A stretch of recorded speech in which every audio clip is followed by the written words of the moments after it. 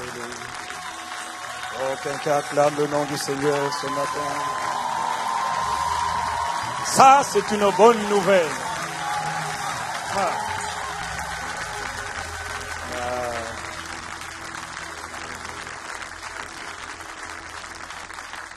Oh. Nous te sommes reconnaissants.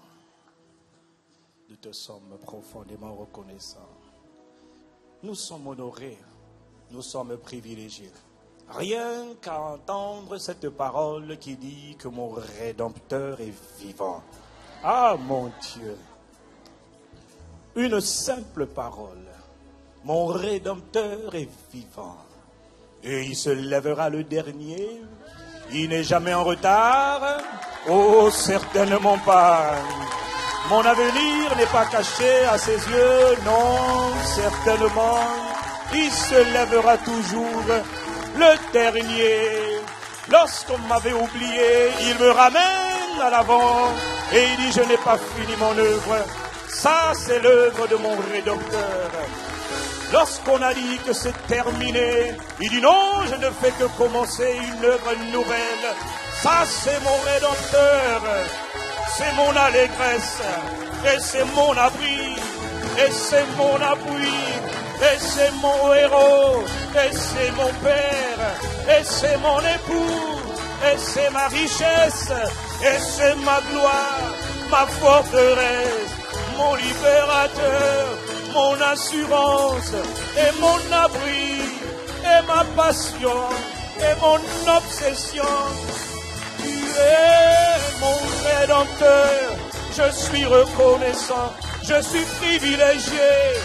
Oh mon rédempteur, tu es mon abri, tu es tout pour moi.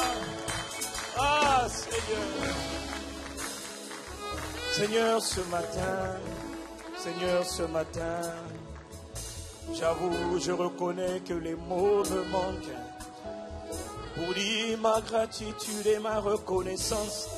Alors je veux faire comme le roi David qui psalmodiait, qui chantonnait en disant je suis heureux d'aller dans la maison de l'Éternel. Je célébrerai, je chanterai dans l'assemblée des dieux, dans l'assemblée des ministres et des rois, des ambassadeurs. Je célébrerai tes faits, je chanterai ta gloire et ton nom, mon époux, mon Seigneur et mon Dieu. Ma forteresse et ma victoire, mon puissant soutien, mon triomphe. Il est tout ce que je proclame qu'il est pour moi. Il est mon amour, mon bien-aimé, mon sauveur, mon Seigneur, mon protecteur, mon étendard. Il est mon héros, ma vitalité. Oh, il est tout, tout ce que je suis, tout ce que j'ai. Il est, il est, il est, il est tout, tout. Seigneur, tu es notre Père. Nous sommes privilégiés, nous sommes honorés, nous sommes comblés, nous sommes transformés, nous sommes épanouis dans ta présence. Juste parce que tu es là, alors je déclare que tout va bien. Parce que tu es là, alors je suis dans la joie. Parce que tu es là, alors je suis serein, je suis détendu. Je suis calme, je suis posé. Pas de stress, pas de panique, pas de peur. Non, parce que tu es là. Seigneur, je suis reconnaissant. Notre Père, notre cher Père, admirable Père, honorable Père, Père de notre Seigneur Jésus, Père de gloire, nous voulons te dire que nous sommes fiers de t'avoir pour Père. Nous sommes ton peuple et le troupeau de ton pâturage et nous sommes fiers de t'avoir pour Père. Tu es notre nourrisseur, tu es notre protecteur, tu es notre pourvoyeur, tu es notre protection, tu es notre libérateur, notre émancipateur, notre abondance, notre plénitude. Tu es tout ce dont nous avons besoin. Tu es ma totalité. Tu es mon assurance, mon espérance. Tu es tout, Seigneur. Et ce matin, nous voulons dire, Seigneur, notre gratitude, profonde gratitude. No matter what, oh God, peu importe ce qui s'est passé hier ou ce matin, nous voulons dire notre gratitude. Merci pour tout ce que tu es, pour tout ce que tu fais, pour tout ce que tu as toujours été, pour tout ce que tu feras toujours. Seigneur notre Père, qui est comme toi, oh notre Père et notre Seigneur.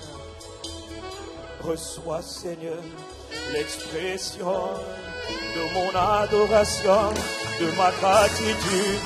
Reçois mes clameurs, mon acclamation, et pour toi seul, reçois mon acclamation, mon acclamation.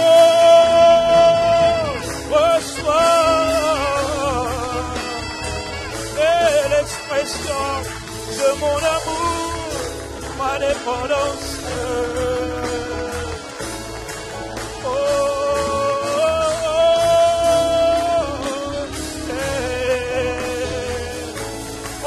Te célèbre dans l'assemblée des fidèles.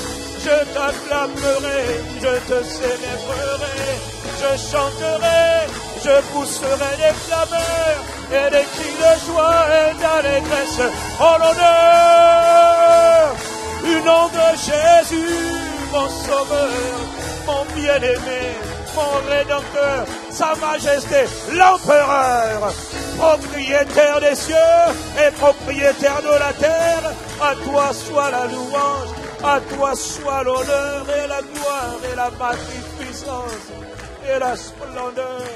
À toi seul, notre Seigneur. Ah, Seigneur. I was glad when they told me to go into the house of the Lord. Seigneur, merci. Seigneur, merci. Seigneur, merci. C'est un bien simple petit mot. Mais Seigneur, du fond de nos cœurs, nous voulons dire notre gratitude, profonde gratitude.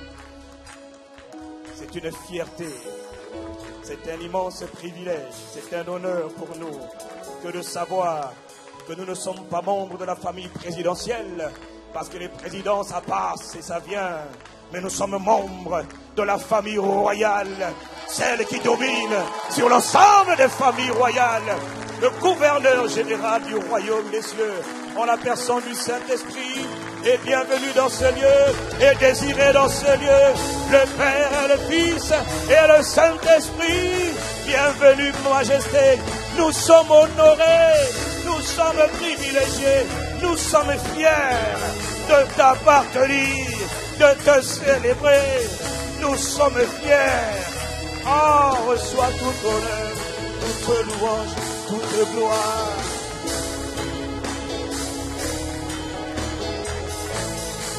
Tout honneur et toute gloire.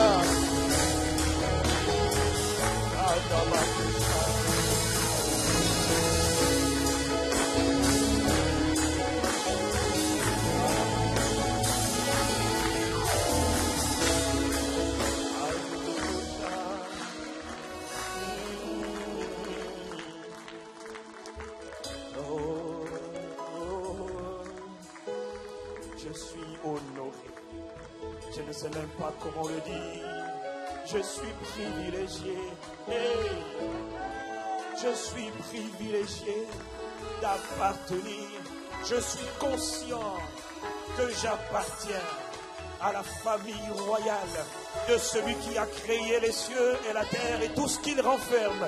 Tout ce qui vit et tout ce qui respire lui sont soumis.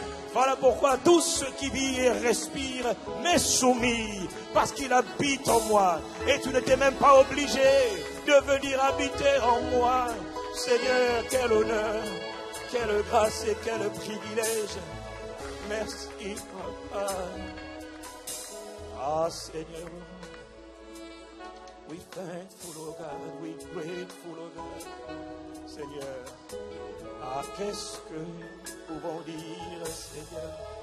Qu'est-ce que nous pouvons dire encore? admirable Père, honorable Père.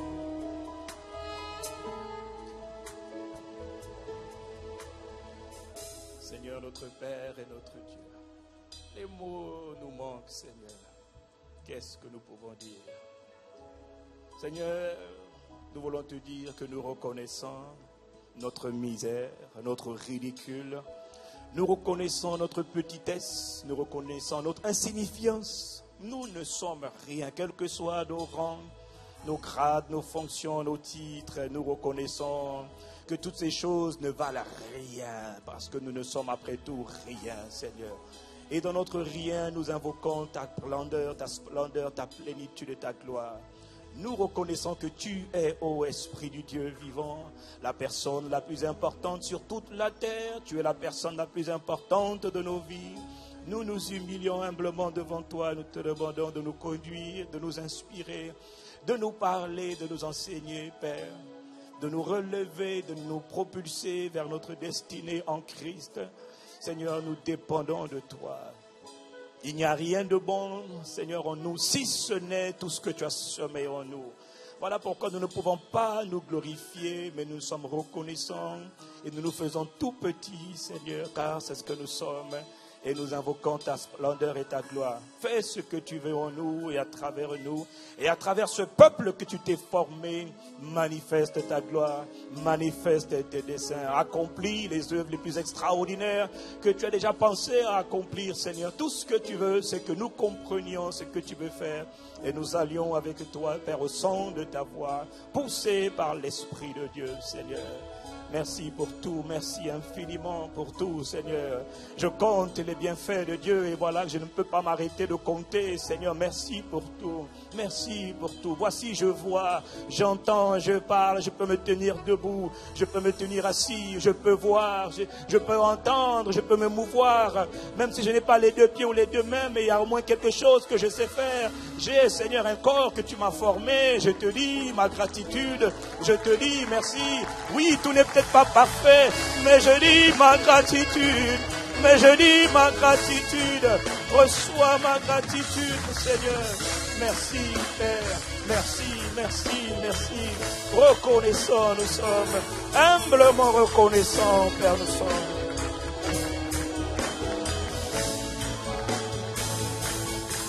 Humblement, nous sommes. Merci. Merci. Merci. Reconnaissant, nous sommes. Nous sommes reconnaissants. Quelqu'un dit, je suis reconnaissant.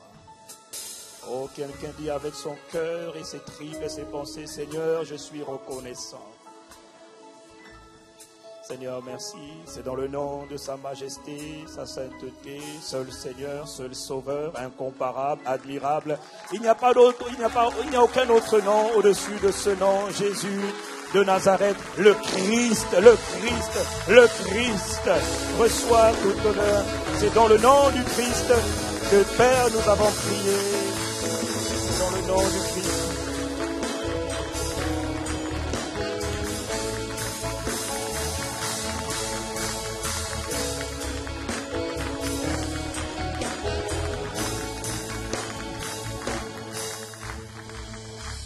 Amen avec moi.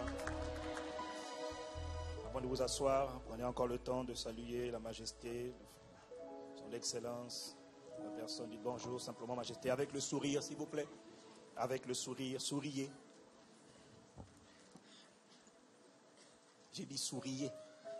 Là-haut, je ne vois pas en train de sourire. J'ai une caméra qui me montre là-haut, souriez. C'est pour votre bien que je le dis.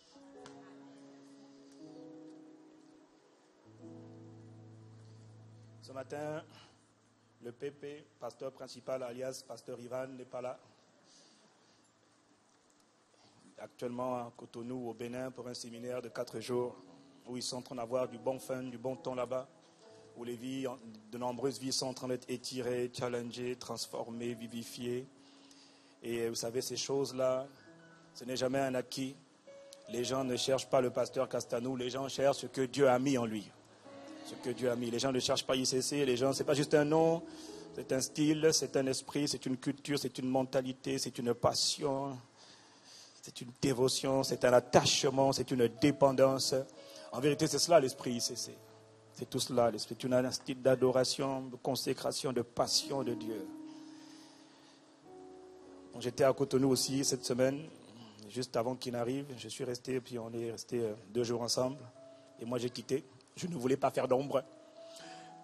non, c'est pas ça. C'est qu'il fallait que je vienne ici. Vous savez, j'étais en Côte d'Ivoire et euh, à Abidjan, puis à Cotonou, il y a une semaine. Figurez-vous que quand je suis allé à, Abidjan, j'étais dans une banque et j'étais avec les responsables VIP de la banque.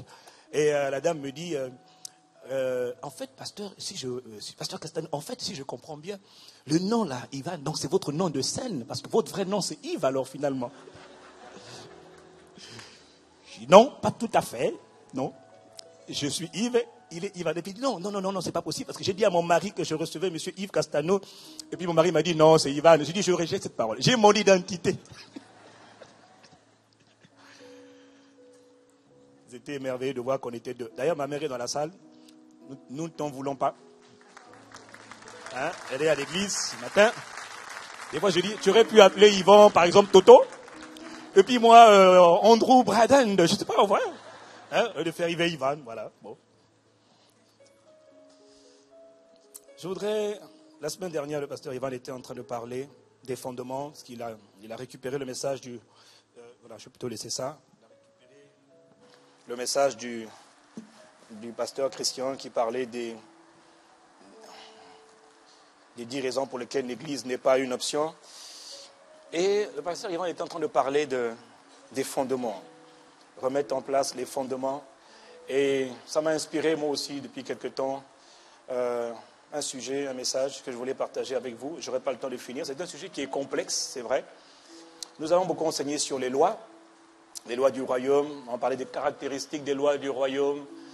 Euh, brièvement, je vais juste reprendre certaines d'entre elles, juste pour vous situer un peu dans le contexte. Nous avons dit que dans la vie, tout commence par des lois sur la terre, de l'univers tout entier, qu'on appelle encore cieux dans la Bible. Tout commence par des lois ou encore avec la loi. Et nous avons dit que quand l'expression la loi, quand on parle de la loi de l'éternel, la loi, les lois du royaume, on peut dire la loi ou les lois. Quand on dit la loi, ça symbolise, ça signifie juste l'ensemble des lois. Nous avons dit en parlant des lois que les lois s'habitent à tous les habitants, à tous les, à tous les habitants d'un territoire, qu'ils soient autochtones ou étrangers, qu'ils soient citoyens ou résidents. Les lois, de manière générale, lorsqu'on les met en place, les lois s'appliquent à tout le monde. La loi est le premier pilier de l'éducation d'une personne. Nous avons dit que les lois soutiennent, régissent, portent, gouvernent l'univers. L'univers est gouverné par des lois naturelles et par des lois surnaturelles ou encore des lois spirituelles. La raison pour laquelle nous pouvons voyager aujourd'hui en avion, c'est parce que l'aviation opère en harmonie avec les lois naturelles ou encore les lois physiques. Les lois n'ont pas changé pour nous permettre de pouvoir voler dans les airs, mais c'est nous, les hommes, avec notre créativité, notre intelligence, qui avons trouvé les moyens d'agir, de coopérer en symbiose, en harmonie avec les lois naturelles. Et c'est cela qui nous permet aujourd'hui de sillonner le ciel. C'est parce que nous avons compris les lois et nous avons décidé de coopérer, de collaborer avec les lois. La science constate aujourd'hui que l'univers est régulé, que l'univers est gouverné même les scientifiques les plus incrédules reconnaissent quand même que l'univers est gouverné. Après, peu importe à qui ils attribuent ce mode de gouvernement de l'univers ou cette régulation de l'univers, mais au moins tout le monde est d'accord pour dire que l'univers aujourd'hui est régulé. Et nous, nous savons qu'il y a un roi invisible, immortel, qui est, son nom c'est Dieu, son nom c'est le Christ, qui gouverne toutes choses à travers les lois qu'il établit. Il est le monarque, il est le seigneur ou encore l'empereur du domaine qu'on appelle l'univers. C'est lui qui crée tout ce qui vit, tout ce qui respire dans l'univers. On déploie beaucoup d'argent pour aller sur Mars. Au final, on va peut-être découvrir ce que nous savions déjà, c'est que Mars a été créé par la parole de l'Éternel. Mais on aura pris beaucoup d'argent, on aura investi beaucoup d'argent qu'on aurait pu mettre ailleurs, juste pour aller découvrir ce qu'il y a sur Mars. Et moi, de toute manière, même s'il y a des créatures sur Mars, croyez-moi, la Bible dit que son nom a été levé au-dessus de tout nom, dans tous les cieux, c'est-à-dire tout l'univers, et en son nom, tout genou fléchit, dans les cieux, dans les cieux, dans l'univers, donc sur la terre et sous la terre. En son nom, tout genou fléchit, absolument tout. Tout ce qui vit, tout ce qui respire, fléchit devant lui. Et, et attendez, attendez, tant qu'il habite en moi, tout tout devant ma. Non, parce qu'il y a des gens qui ont peur de ce qu'on pourrait découvrir sur Mars, quel type de créature on pourrait découvrir, ramener sur Terre. Je soyez détendus, croyez en Dieu, croyez en Christ, marchez avec Christ, vous serez détendus comme nous. Alléluia, quelqu'un dit Amen. L'univers est régi par des lois, l'univers est régi par des lois. Tout ce qui vit, tout ce qui respire est soumis et sous le régime des lois et régi forcément par des lois. Nous avons dit que les lois existent pour simplifier la vie des citoyens d'un territoire ou d'une nation donnée. Quand vous connaissez et que vous opérez selon les lois du royaume, selon les lois divines, selon les lois spirituelles, votre manière de prier change. Il n'y a pas besoin de forcer, de souffrir. Il y a des moments où on va supplier, c'est vrai, mais il y a beaucoup de, il y a beaucoup de choses qui se font naturellement juste parce qu'on obéit à certaines lois et on provoque les choses. On ne force pas les choses, on les provoque naturellement. Nous avons dit que la loi de Dieu, elle est parfaite. Nous avons dit que la loi de Dieu, elle est bonne. Tout ce que Dieu fait est bon. C'est un Père aimant, c'est un Père rempli d'amour, c'est un Père qui est amour. Et tout ce qu'il fait, c'est bon. Quelqu'un dit Amen. Nous avons dit que la loi de Dieu est spirituelle, Romains chapitre 7, verset 14. Alors donc Paul dit non seulement la loi de Dieu est bonne, mais il dit aussi que la loi, elle est spirituelle. Ça veut dire quoi? Ça veut dire, mon frère, ma soeur, que derrière chaque loi que Dieu crée, nous avons dit aussi qu'à travers chaque instruction, en vérité, Dieu révèle une loi. Dieu donne une loi. Dans chaque instruction, il y a une loi qui est cachée derrière. Nous avons dit que derrière chaque loi, chaque loi est spirituelle parce que derrière chaque loi, il y a une dimension, il y a une compréhension spirituelle, il y a un mystère spirituel derrière et que Dieu ne révèle pas souvent ou que Dieu ne révèle pas toujours. Mais même quand Dieu n'a pas révélé et qu'il te dit par exemple, tu aimeras l'éternel ton Dieu de tout ton cœur, de toute ton âme, de toutes tes forces, de toutes tes pensées, c'est la loi de l'amour par excellence. Lorsqu'il te dit, tu aimeras l'éternel ton Dieu, tout ton cœur, toutes tes pensées, toutes tes tripes, tout, tout, tout ce que tu as, tout, aime le Seigneur il ne te dit pas tous les bienfaits que cela peut te faire. Ce n'est pas pour lui qui te le dit, c'est pour toi qui, le dit. Quelqu'un dit Amen. Derrière derrière la, loi de la joie, il y a aussi une autre dimension, il y a une dimension spirituelle que nous allons voir certainement plus tard. Il y a une dimension qui est extrêmement importante derrière la loi de la joie, qui concerne toi, mais que tu ne comprends pas forcément. Et quand tu ne comprends pas en général, tu as du mal à mettre en pratique. Mais la loi, elle est spirituelle, la loi, elle est bonne, et la loi, elle est spirituelle parce que derrière chaque, chaque loi, il y a il y a une compréhension, il y a une dimension spirituelle. Derrière le mariage, il y a une dimension spirituelle. Derrière la circoncision, il y avait une dimension spirituelle. Derrière le, sabbat, il y a une dimension spirituelle. Derrière l'offrande, derrière le fait de donner la dîme, il y a une dimension spirituelle. Derrière la loi de l'honneur, le fait d'honorer les parents, d'honorer les gens, d'honorer, il y a une dimension qui est spirituelle. De même qu'il existe des lois naturelles, il existe aussi des lois spirituelles. Et aujourd'hui, je vais venir sur une des lois fondamentales que nous ignorons, que nous ne connaissons pas et qui nous crée beaucoup de problèmes. Et ces lois constituent réellement les fondements de ce que nous sommes, de ce que nous faisons. Nous enseignons sur beaucoup de choses, c'est vrai. À ICC notamment, on enseigne sur beaucoup de choses comme partout ailleurs, mais force est quand même de constater que malgré tout ce qu'on entend, malgré tout ce qu'on reçoit, tout ce qu'on comprend, il y a des choses quand même qui ne changent pas. Parfois, on tourne encore un peu en rang.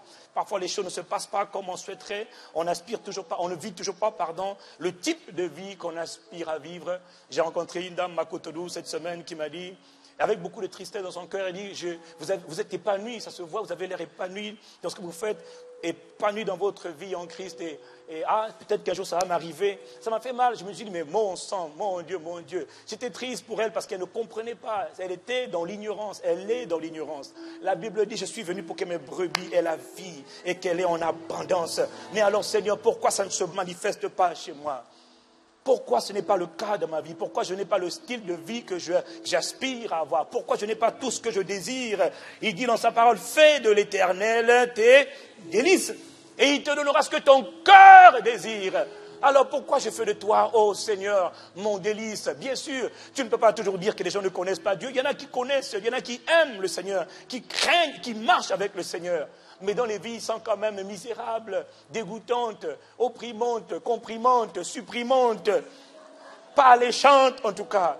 Et vous voyez, des fois, il faut juste avoir l'honnêteté de s'arrêter pour dire, soit la parole n'est pas vérité, soit les lois ne marchent pas, soit c'est moi qui n'ai pas compris. Quelqu'un dit Amen. Et quand tu dis, tu n'ai pas compris, oui, je dis, mon frère, ma soeur, tu n'as pas compris. Mon peuple est péri par son manque de connaissance.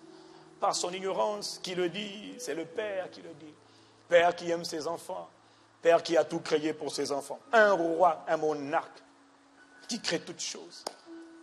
Il dit, jouissez-en, profitez-en, faites-vous plaisir pour ma seule gloire.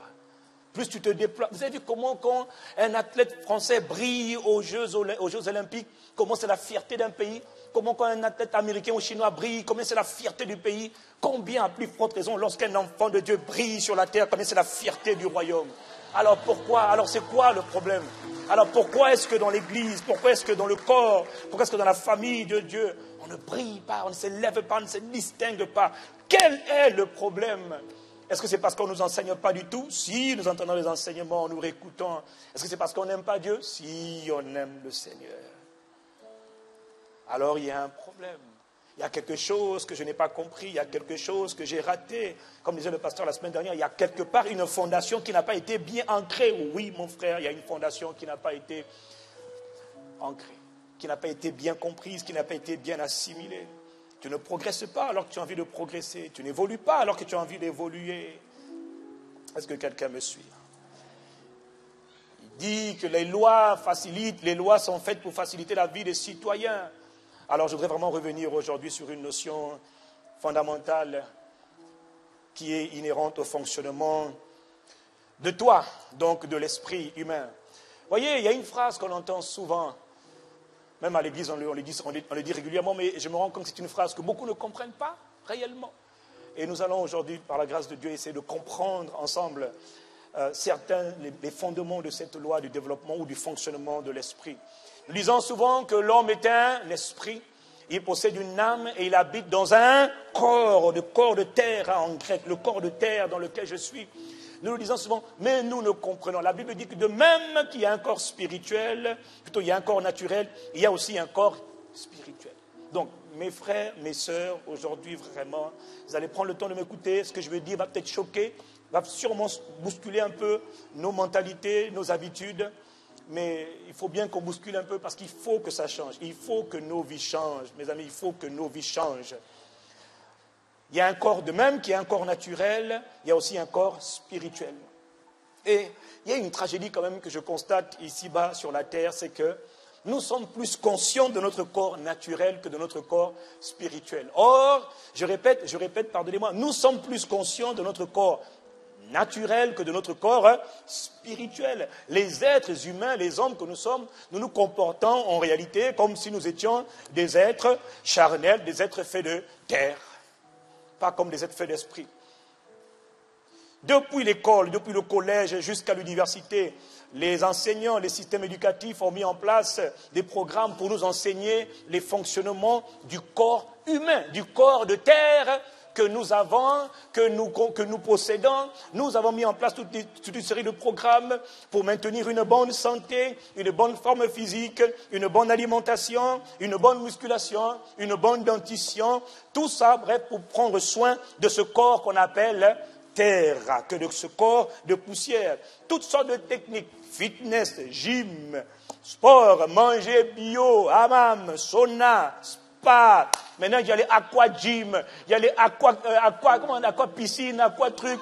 Tout ça pour prendre soin du corps, faire en sorte que le corps continue de se maintenir en bonne santé. Quelqu'un dit Amen. Et toutes ces choses sont utiles.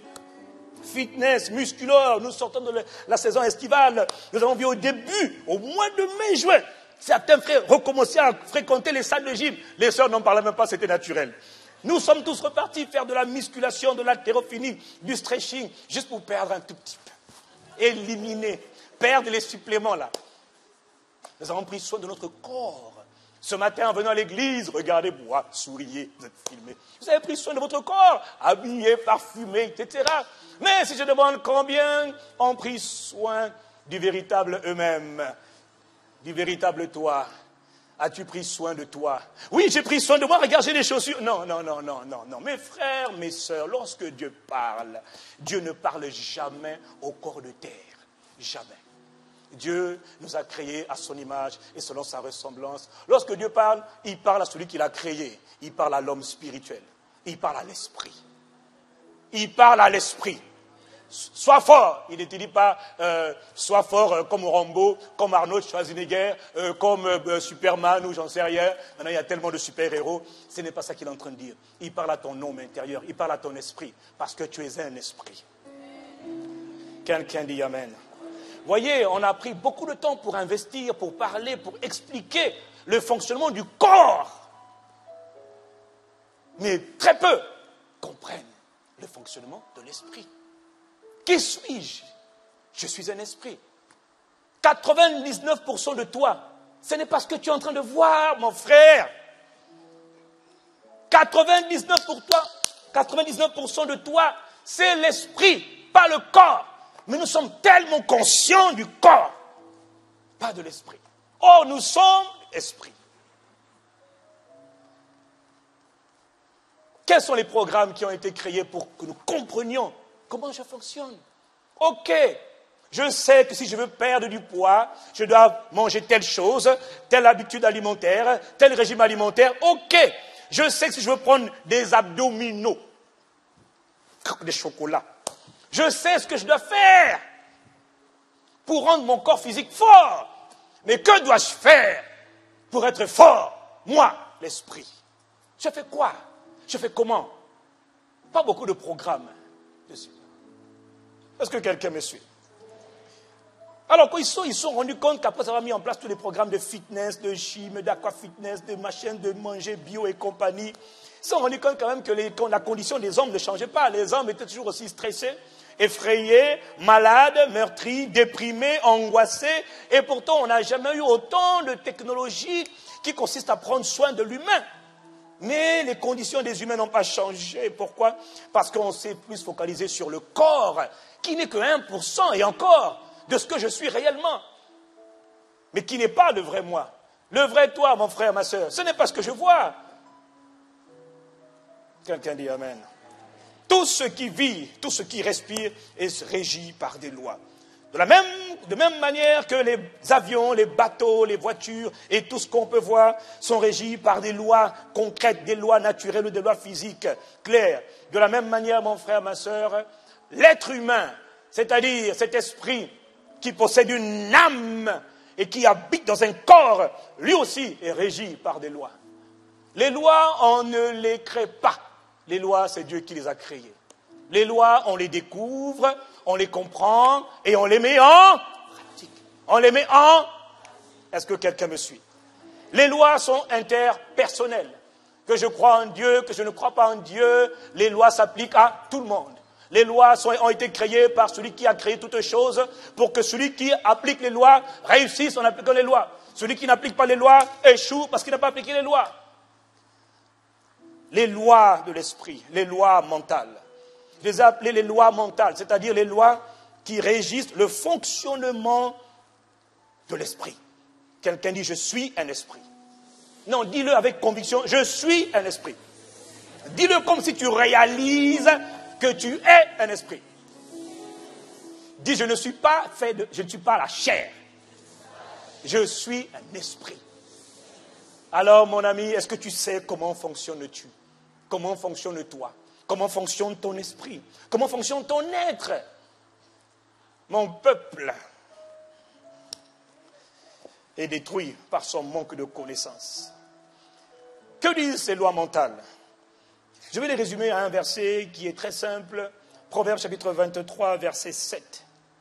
Proverbe chapitre 23, verset 7. Il est écrit, car il est comme les pensées de son âme. Car il est comme les pensées de son cœur. La suite, c'est mange et bois, te dira-t-il, mais son cœur n'est point avec toi. Ce qui nous intéresse, c'est cette petite phrase qui a été capturée car il est comme les pensées de son âme. Il y a des gens qui ont fait des livres et des livres et des multitudes de livres à partir de ce simple petit texte. Car il est comme les pensées de son âme. D'autres versions disent, tel est l'homme, telles sont ses pensées. Tel est l'homme, telles sont ses pensées. Autrement dit, l'homme est le fruit, l'homme est le produit de ses pensées. Est-ce que quelqu'un me suit? Il y a des choses que je vais expliquer, vraiment, j'insiste. Écoutez, ces lois on ne les crée pas. Ces lois, Dieu les a créées. Nous avons un souci, un petit souci, c'est que Dieu nous a créés exactement comme lui. Dieu nous a créés trop comme lui.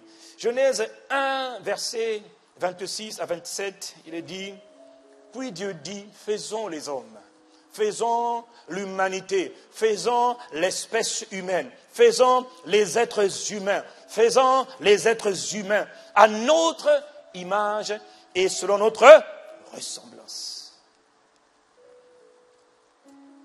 À notre image, notre nature, notre caractère, à notre ressemblance, nos caractéristiques, notre potentiel. Ce que nous pouvons faire, cet être humain doit pouvoir le faire. Ce que nous sommes, cet humain, cette espèce, ces êtres humains doivent pouvoir le faire. Ce que nous sommes, ils doivent pouvoir l'être aussi. Est-ce que quelqu'un me suit? Mon potentiel, c'est son potentiel. Or, Dieu, au commencement, était la parole. Et la parole était avec Dieu. Et la parole était Dieu. Et tout ce qui a été fait a été fait par la parole. Et rien de ce qui n'a été fait n'a été fait sans la parole. En elle était la vie, et la vie était la lumière des hommes, etc., etc. Quel est mon point? Mon frère, faites attention à une chose.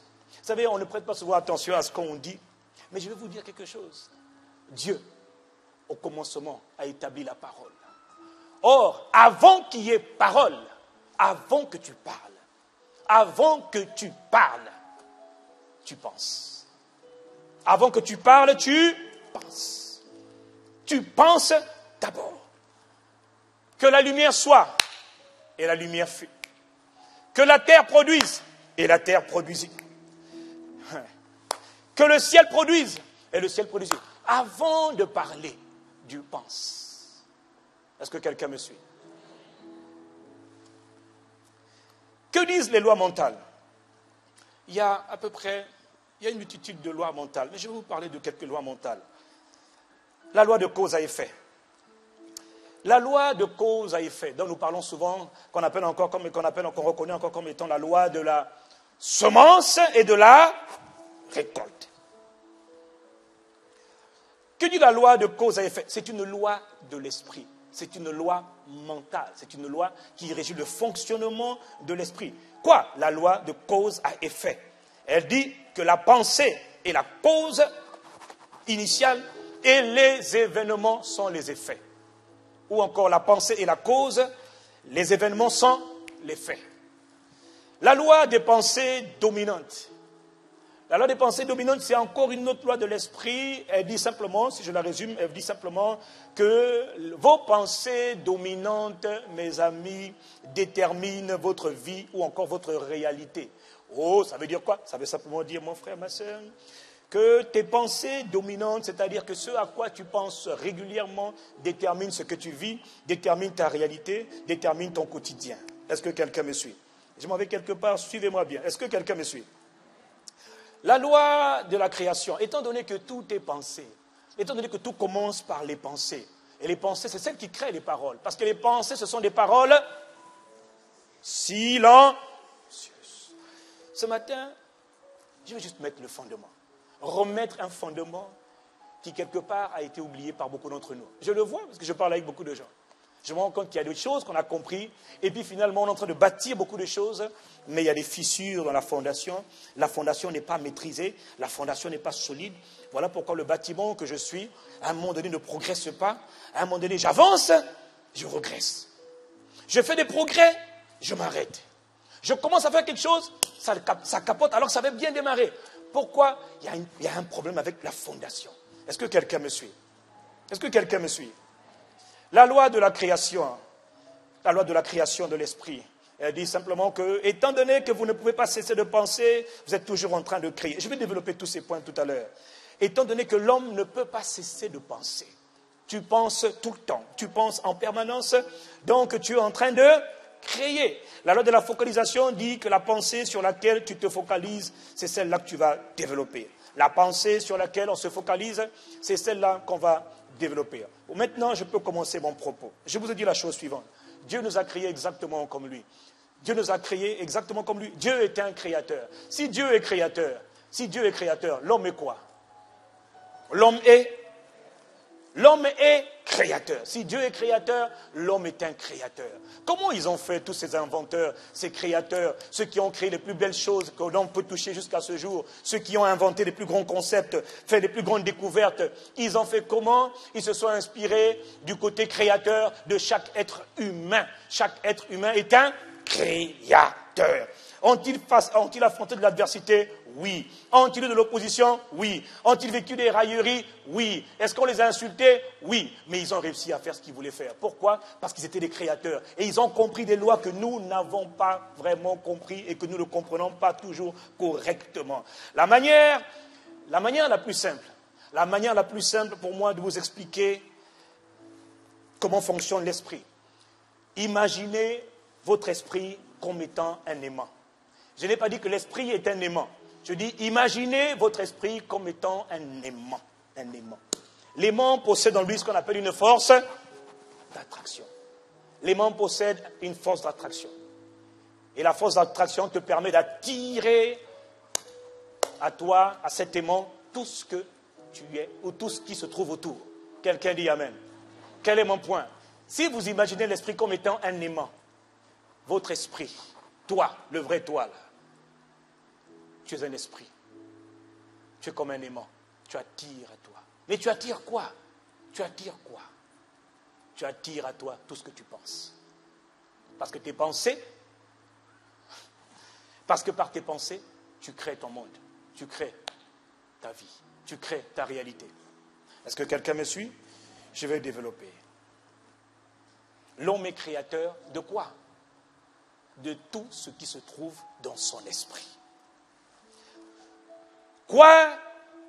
La plupart du temps, les choses qui t'arrivent, les choses qui se produisent dans ta vie, sont généralement des choses que tu as tirées, sans le savoir, de manière inconsciente.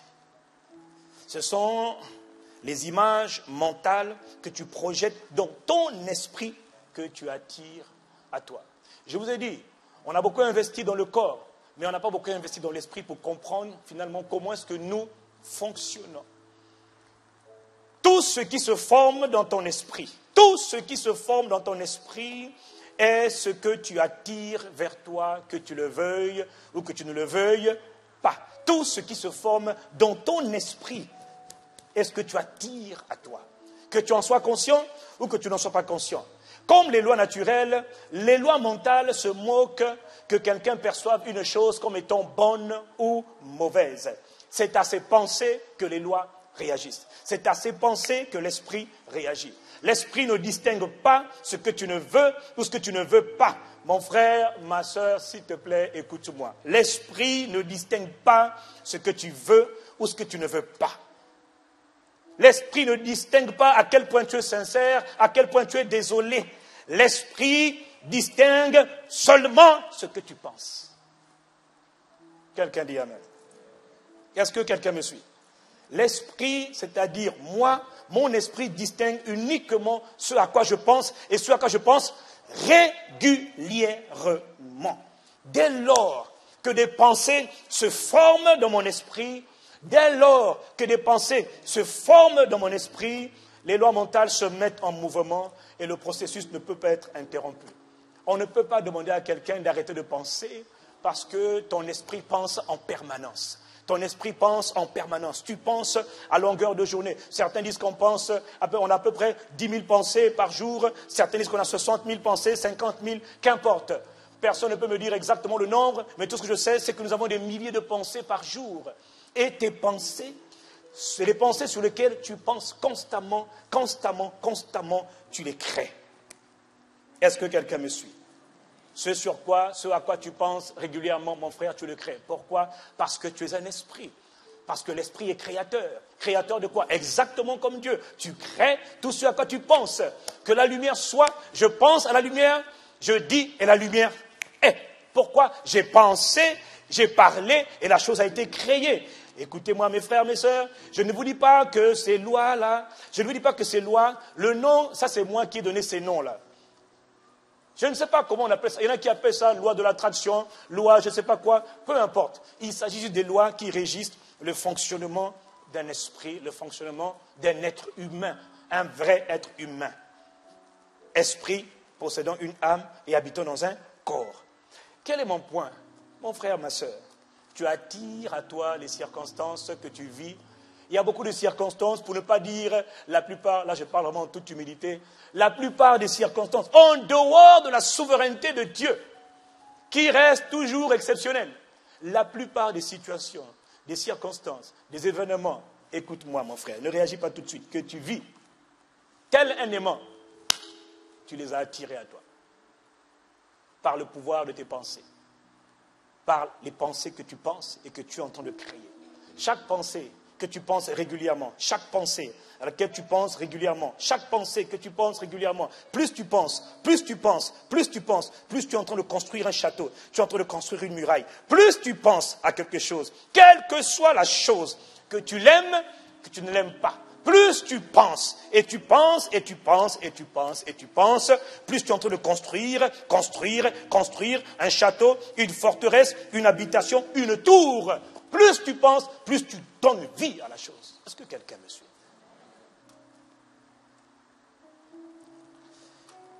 Voilà pourquoi lorsque l'apôtre Paul prie, quand il dit nous renversons les raisonnements, nous renversons les hauteurs, nous renversons les forteresses qui se lèvent prétentieusement, il parle des pensées. Il parle des pensées que nous renversons parce que chez certains individus, il y a des forteresses, des tours, des barricades qui ont été érigées dans leur système de pensée.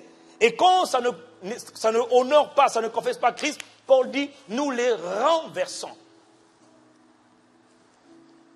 Il est donc important de comprendre, bien aimé. Je vais te dire une chose. Si tu te plains régulièrement de ce que les choses vont mal dans ta vie, et c'est la réalité. Si tu te plains de ce que les choses vont régulièrement mal pour toi. Non, vraiment, ça ne va pas du tout. Ma vie est un coffrage, euh, est un naufrage, pardon. Ma vie est un cauchemar. Ma vie n'évolue pas. Ma vie n'avance pas. Si tu en parles régulièrement, et il y en a qui sont doués pour en parler avec une passion sincère, sans faire exprès, juste parce que je suis sincère. Je vais te dire mes problèmes, ma soeur. Je suis un échec. Ma vie est un naufrage ça n'avance pas, ça ne marche pas, j'en peux plus, j'en ai marre. Et tu es sincère. Mais les lois ne connaissent pas la sincérité. Ton esprit ne connaît que les pensées que tu as. Et les pensées que tu as actuellement, c'est marre, naufrage, échec, j'en ai marre. Et qu'est-ce qui se passe? Que tu en sois conscient ou que tu en sois inconscient, ça ne change rien, frère ça ne changera pas. Tu ne fais qu'attirer encore à toi davantage, comme un aimant, tu ne fais qu'attirer à toi les circonstances, les événements, les individus qui font que ça va mal. je suis sincère.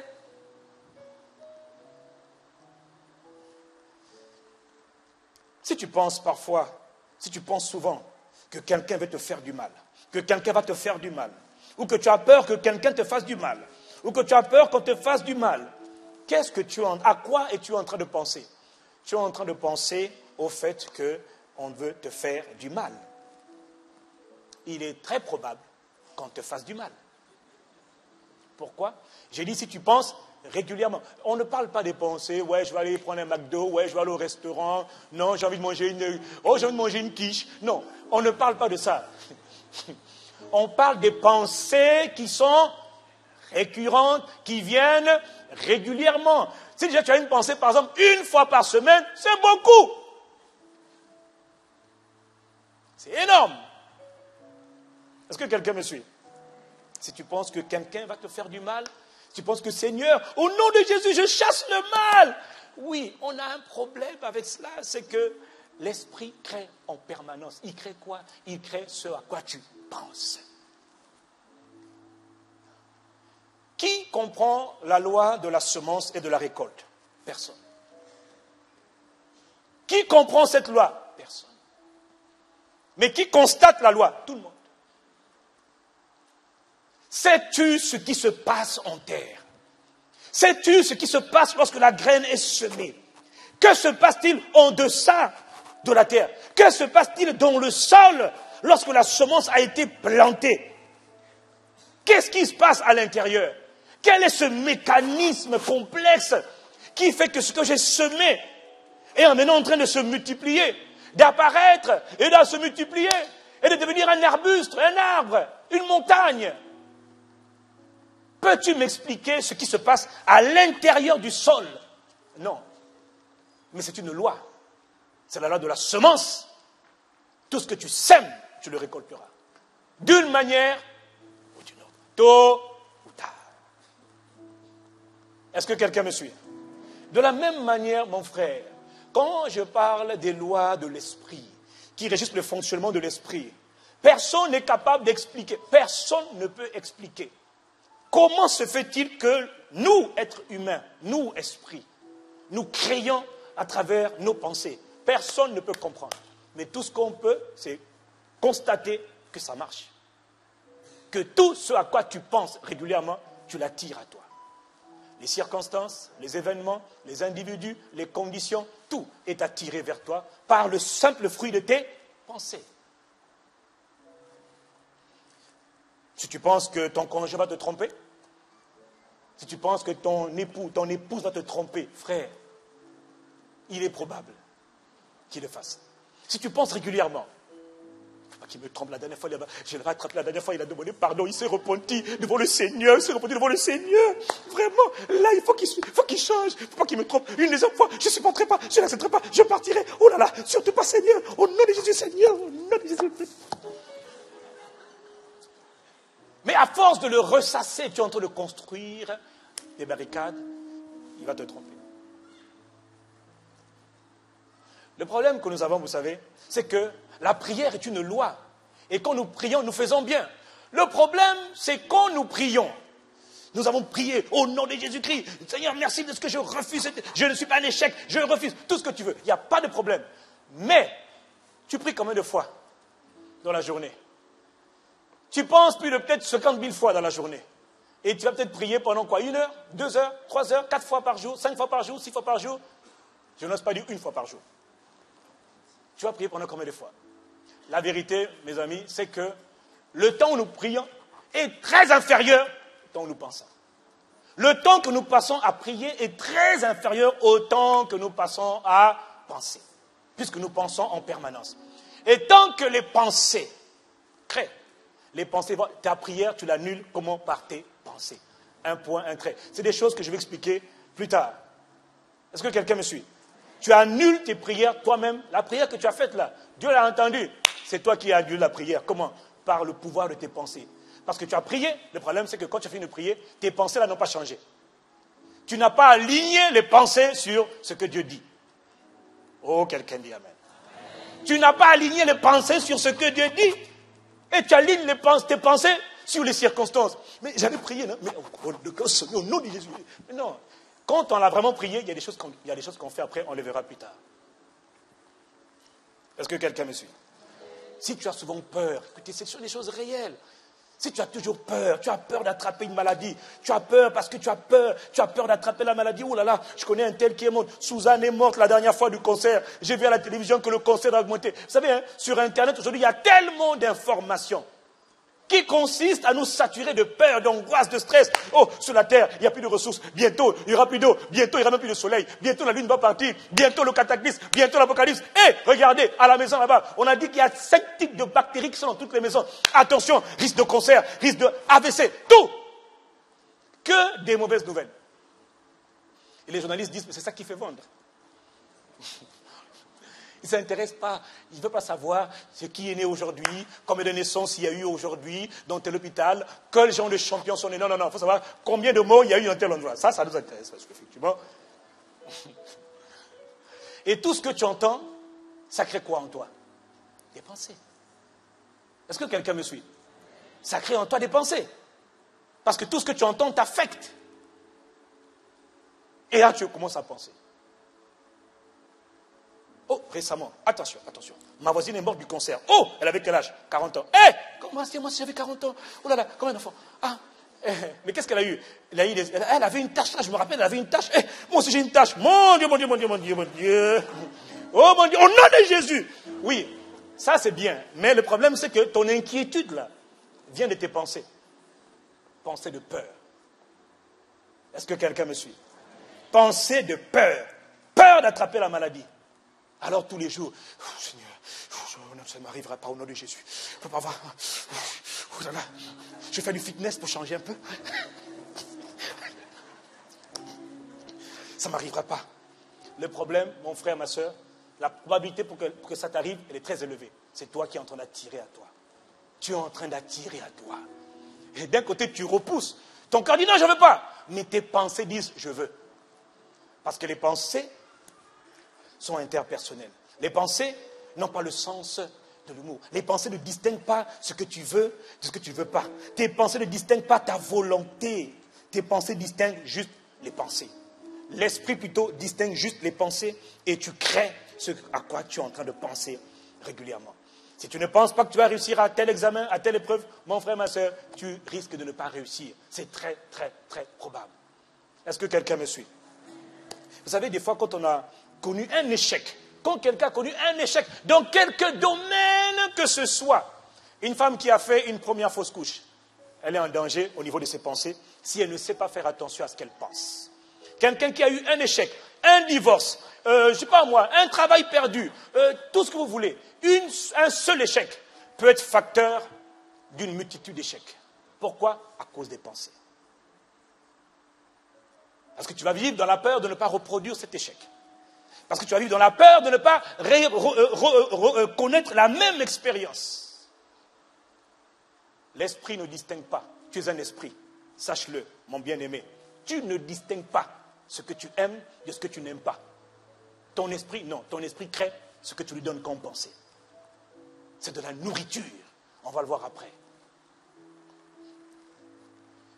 Tu penses souvent qu'il y a un plan, comme il y a un plan social dans ton entreprise, comme le monde est en crise, comme l'économie mondiale va mal, alors sûrement, il y a quelqu'un ici qui se dit, oh là là, moi on va me licencier, hein. il y a un plan social. J'espère que je ne serai pas dans la liste.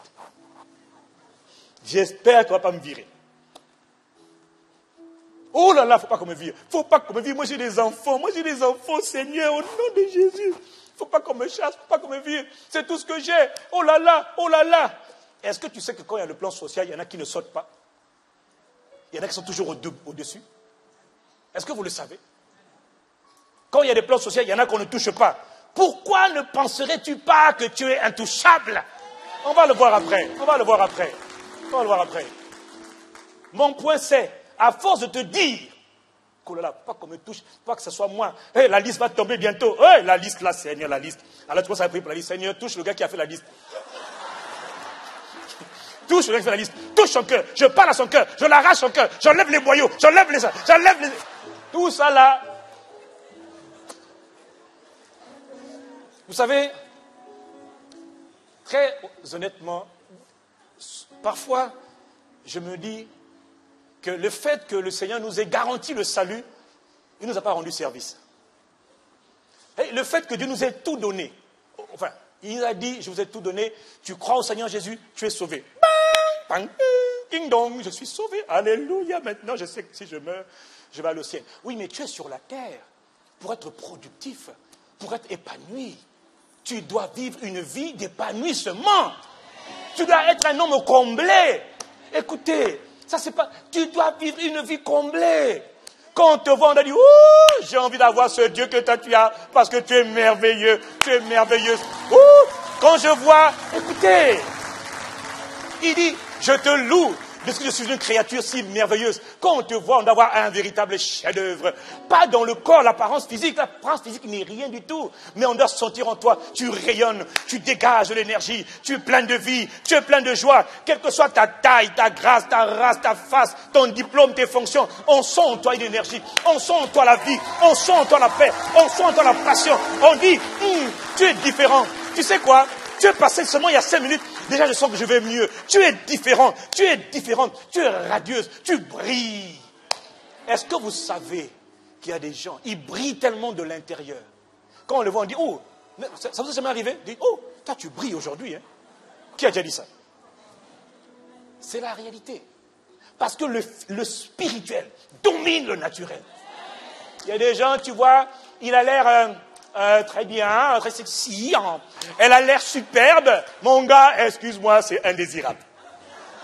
En apparence, ça a l'air bien, mais quand tu t'approches et que tu as le sens spirituel, tu dis non, mon frère, là-bas il y a trouble, là-bas il n'y a pas l'âme.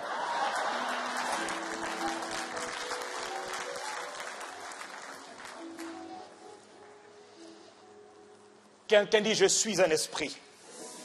Quelqu'un dit je suis un esprit. Si tu as peur constamment, régulièrement, de, faire une rechute, et que tu penses constamment rechute, j'ai été opéré une fois, mais c'était un concert, c'était un ulcère. ok, Seigneur, merci pour ta. Mais à chaque fois dans tes pensées, parce que je vous ai dit, dès qu'on a un vice, un problème quelque part, c'est comme si on vient de déclencher un processus. Et les pensées vont constamment revenir.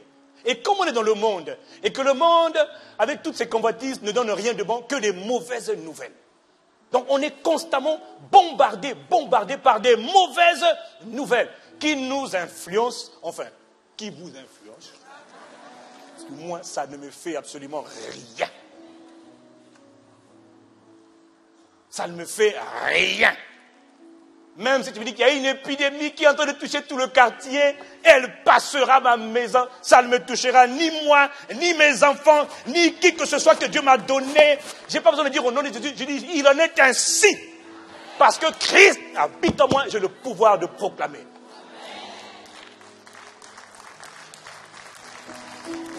Comprenez-moi bien. L'être humain que tu es, ma soeur, mon frère, tu crées. Quelqu'un dit je crée. Quelqu'un dit je crée. Je ne sais pas comment.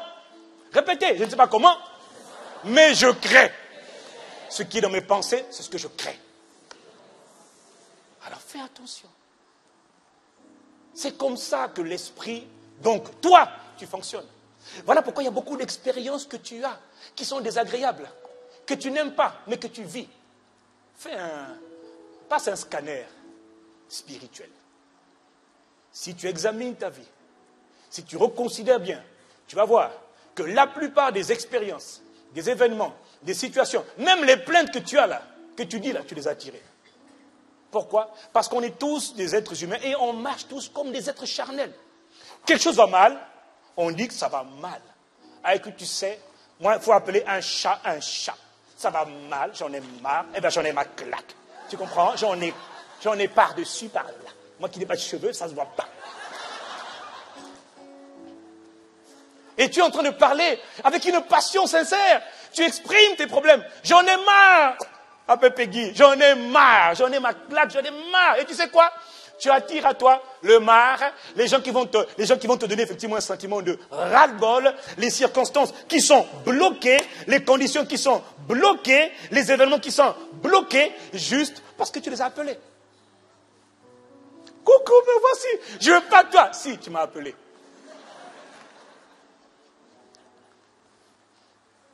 Est-ce que quelqu'un comprend de quoi je parle? Tu es endetté? Tu as des challenges financiers?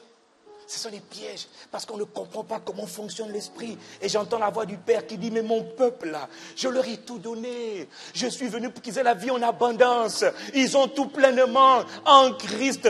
Lorsque Christ n'était pas là, ils pouvaient souffrir des oppressions démoniaques, de la maladie, de la misère, de toute forme de poisse.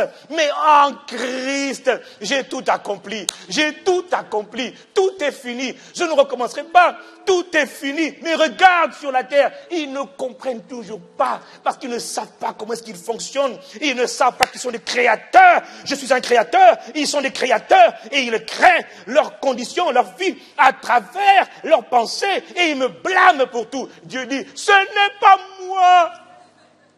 C'est pas moi, dit le Seigneur. Ce n'est pas moi les expériences que tu vis, les échecs que tu as. Nous, on a tellement mis dans notre tête qu'on était sauvés par la grâce de Dieu qu'on est devenu de véritables paresseux. Et cette paresse nous gangrène. Tout maintenant, c'est le Seigneur. Veux-tu avoir une maison? J'attends le type de maison que le Seigneur va me donner. Non Non Non C'est de l'ignorance. Attendez, attendez c'est de l'ignorance, de la naïveté. Dieu dit, hum, hum, pas maison, moi je donne. Hum, Écoutez, le roi qui gouverne l'empire, qui gouverne le royaume, met les lois pour tout le monde. Quelqu'un dit Amen. Maintenant il dit, Celui qui comprend les lois les met en pratique et ça marche pour lui. Il y a des lois pour créer. Comment ils ont fait tous ces inventeurs? Eh, excusez-moi, ce pas des chrétiens. Ce pas des chrétiens qui façonnent la, plupart des technologies, la plupart des inventions. Même l'avion. L'avion a été créé par un chrétien. C'est ton papa qui a créé l'avion. Ah, c'est comme ça qu'on est en Afrique. Dis-moi, ton papa fait la route là?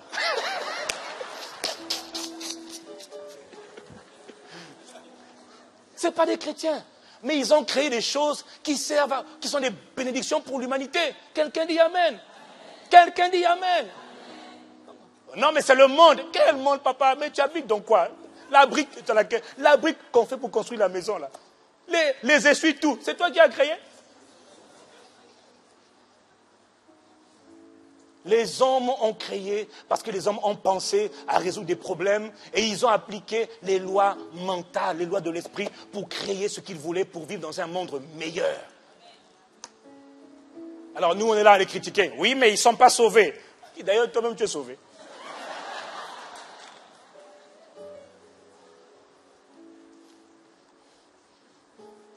Est-ce que quelqu'un comprend de quoi je parle? Les lois existent pour tout le monde. Le Père, qui est le roi, qui est l'empereur, qui est le créateur, a créé tout pour tout le monde. Un des pays qui était connu comme étant le pays de rêve, c'était les États-Unis. Aujourd'hui, avec la crise, c'est un peu compliqué. Mais à l'époque, les États-Unis étaient connus pour être le pays du rêve américain. Pourquoi? C'était aux États-Unis que tous les entrepreneurs, tous les créateurs de richesse, tous ceux qui voulaient voir leur vie devenir meilleure, allaient aux États-Unis. Sri Lankais, Pakistanais, Indiens, Émiratis, Saoudiens, Africains, Nigérians, Congolais, Gabonais, Martiniquais, Haïtiens, euh, Équatoriens, Salvadoriens, Vénézuéliens, Mexicains. L'Amérique était le pays du rêve. Pourquoi? Parce qu'en Amérique, ils avaient juste mis en place les lois, les canevas, pour que quiconque vient en Amérique puisse réussir.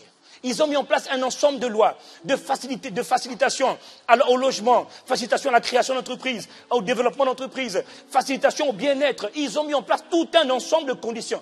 Ils ont dit, celui qui veut, qu'il vienne et qu'il fasse, ça marchera pour lui. Est-ce que quelqu'un me suit? Il y en a qui sont partis qu'ils soient américains ou pas américains, beaucoup ont fait de l'argent aux États-Unis. Pourquoi? C'était le pays du rêve américain. Les lois s'appliquaient à tout le monde. Maintenant, il y en a qui viennent aux États-Unis avec la mentalité d'assister, d'assistanat. Je cherche juste un petit boulot. Très bien, tu l'auras. Tu es béni. Puis il y en a qui viennent aux États-Unis avec la mentalité d'entreprendre. Indiens, Sri Lankais, Pakistanais, je les connais. Et eux, ils ont une mentalité de bosseurs, maliens, Mauritaniens, Sénégalais, des bosseurs. Quelqu'un dit Amen ici. Moi, je les encourage. Pas comme nous là, chaussures seulement, et puis là avec sa cravate au cou. Tu vas où? Au boulot. M'en vais au boulot. Il y en a, mon frère, il n'y a pas de cravate, il y a même y a que t-shirt, mais il pèse des milliards. Il ne sait pas lire et écrire. Tout ce qu'il sait, c'est que j'ai vendu un paquet de riz à 100 francs, ça m'a rapporté 200, j'ai 100 francs de marge, ça c'est dans la poche, ça va au village, je construis des maisons. Et quand tu vas dans leur pays, ils ont des hôtels, ils ont tout. Et vous là, avec les costards, rien. Les lois s'appliquaient à tout le monde. Il y en a juste qui avaient un état d'esprit qui était différent. Est-ce que quelqu'un me suit? Ils avaient une mentalité différente. Et d'autres, c'était aussi une mentalité différente qui consistait à faire le minimum. Moi, toi, tu veux faire quoi dans la vie? Non, moi, ça dépend de Dieu. Tu vas habiter où? Ça dépend de Dieu, mon frère. Il donnera la maison qu'il veut donner, pas de problème, tout va bien. Quelle voiture tu veux avoir? Aucune voiture, c'est la voiture du Seigneur. Mon frère, Dieu dit, mais non, je t'ai donné les lois mon frère, mon fils, ma fille, travaille. Oh Seigneur, vraiment.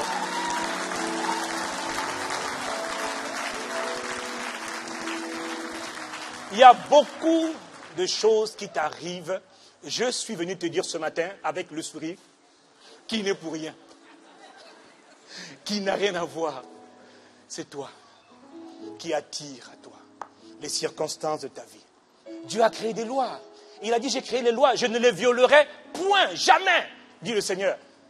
Il a créé des lois et il ne les violera jamais.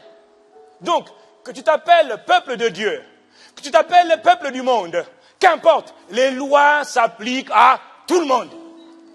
Oh, quelqu'un me dit un beau Amen. Les lois s'appliquent à tout le monde.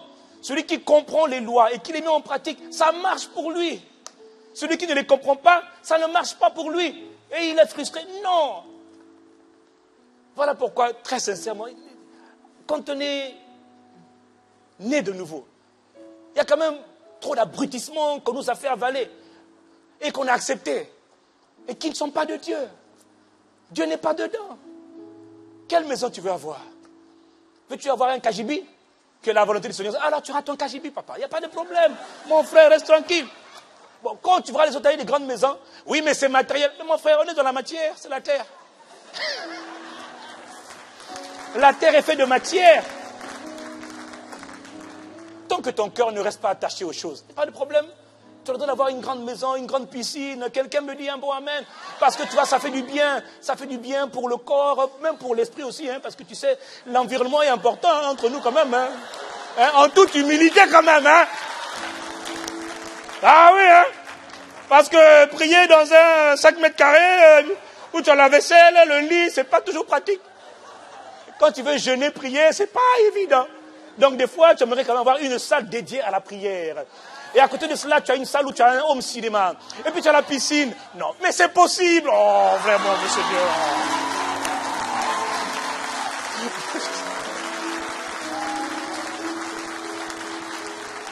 Que ton cœur ne s'attache pas à ces choses, oui, mais tu as le droit d'en jouir. Tu as le droit de jouir des meilleures choses de la vie. C'est la volonté de Dieu. Un mariage épanoui, comme moi, alléluia. Miss Merveille est là. Vous savez, quand je me suis marié, je ne savais pas que ma vie serait un havre de paix, d'amour, d'harmonie, de solennité, de passion, comme je le vis aujourd'hui. Je ne savais pas. Par contre, je pensais toujours que mon foyer serait un havre de paix. Je ne savais pas. Mais je disais toujours, et je pensais toujours, cette femme et moi, là, on va créer une telle fusion, une telle osmose, une telle harmonie, que franchement, rien ne pourra ébranler quoi que ce soit dans notre foyer. Je l'ai dit, je l'ai pensé, je l'imaginais toujours. Je ne savais pas que c'était des lois. Et ça marche, papa, ça marche, mon frère, ça marche. Là où d'autres ont connu le naufrage, qu'importe. Moi, je ne m'occupe pas de ce que les autres ont fait. Je m'occupe de ma référence, c'est la parole de Dieu. Écoutez, la terre il y en a qui ont tellement peur. Oui, les ressources vont commencer à manquer. Il n'y aura plus de ça, il n'y aura plus de ça. Vous savez quoi? La terre, la terre est un exemple d'abondance. L'univers qu'on voit là est rempli d'abondance, de perfection divine. C'est la main de Dieu qui est sur la terre.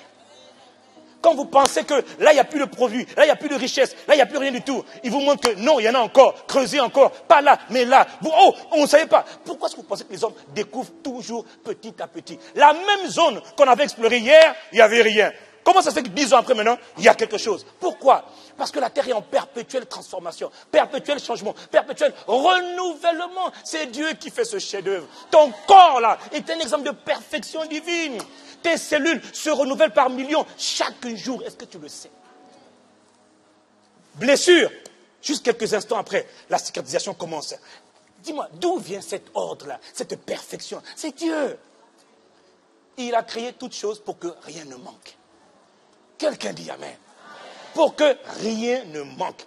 Mais tu peux sur un sol qui est extrêmement prospère, un sol qui est extrêmement riche, ne pas en être conscient. Et même si tu es conscient, tu peux ne pas savoir comment faire pour exploiter ce sol ou ce sous-sol sous lequel tu es. C'est le cas de beaucoup de pays. Toutes les richesses, mais ils ne savent pas comment les exploiter. Alors c'est ceux qui savent les exploiter qui viennent exploiter et qui les asservissent. Et puis après, ils se plaignent. Non. Est-ce que quelqu'un me suit? Quelqu'un dit, je suis un esprit. Dis-le avec conviction, je suis un esprit. Donc arrête de penser mal. Le problème, c'est que si je te dis de mal, arrête de penser mal, tu ne peux pas t'arrêter de penser mal. Parce qu'on pense de manière automatique et on pense selon des schémas établis. Oh, ça, je n'aurai pas le temps d'en parler aujourd'hui. Mais j'en parlerai la prochaine fois. Si tu penses, si tu as peur de ne pas te marier, ma soeur, mon frère, si tu as peur de ne pas te marier, si c'est régulier, Quel âge tu as? Si tu as peur de ne pas te marier régulièrement, cette pensée te vient. Déjà, est-ce qu'elle vient de Dieu? Non. Donc la réponse est claire. Je te dirai après comment on fait. OK? La peur. La peur de vivre le bonheur conjugal. écoutez, quel est mon point? Mon point, c'est faites attention. Parce que je suis, moi, esprit, un créateur. Les lois de l'esprit ou l'esprit ne distinguent pas ce que je veux, ce que je ne veux pas. L'esprit ne reconnaît que ce que je pense. Et il crée et il produit ce que je crée. Comment le crée-t-il? Je ne sais pas et personne ne peut te le dire. Tout comme personne ne peut te dire comment la semence qui a été plantée en terre, elle revient. Personne ne peut le dire. Quelqu'un dit Amen. Alors oui, tu vas me dire, oui, mais attends, quand je regarde bien, mais je n'ai pas attiré cet accident, je n'ai pas attiré ma situation de chômage, je n'ai pas attiré ma situation actuelle, professionnelle, sociale, spirituelle, je n'ai pas attiré toutes ces choses, je n'ai pas attiré les maladies. J'ai une bonne et une mauvaise nouvelle. La mauvaise nouvelle, c'est que oui, tu l'as fait. La bonne nouvelle, c'est que ça peut changer. Puisque je crée par mes pensées. Et la plupart des êtres humains ont des mauvaises pensées ou des mauvaises habitudes mentales. Ils ont une mauvaise habitude mentale, donc mauvais système, mauvais système de pensée. Ça peut se changer. Ça, c'est la bonne nouvelle. Quelqu'un dit Amen. Comment on fait alors? Pourquoi est-ce que je n'ai pas ce que je veux dans la vie? Pourquoi est-ce que ma vie ne change-t-elle pas malgré tout ce que j'entends? Comment et pourquoi est-ce que je ne vis pas une vie exceptionnelle? Je veux vivre une vie exceptionnelle, une vie de faveur, une vie de gloire. Pourquoi ce n'est pas le cas? Pourquoi ma vie n'est-elle pas radieuse? Pourquoi chaque aspect, oui, je dis bien, chaque aspect de ma vie n'est-il pas merveilleux? C'est possible que chaque aspect de ta vie soit merveilleux. Je dis bien merveilleux. C'est possible. C'est mon cas.